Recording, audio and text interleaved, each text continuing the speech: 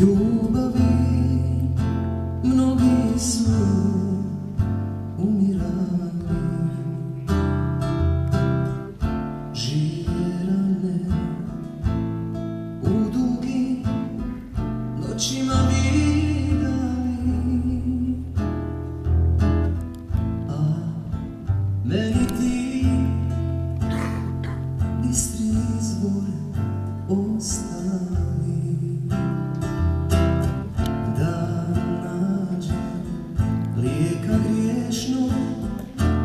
duši što moli samo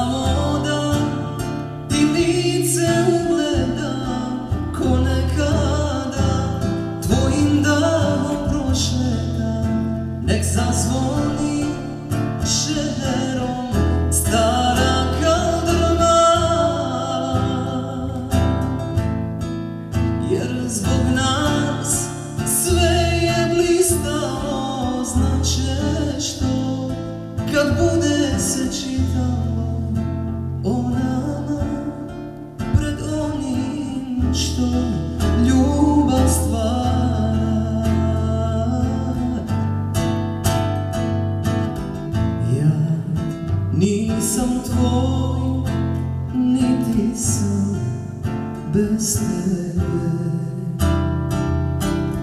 Ko svijeća sam na suncu usred pustinje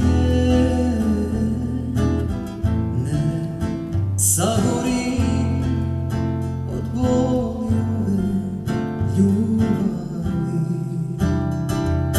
A želim pa još jednom da doživim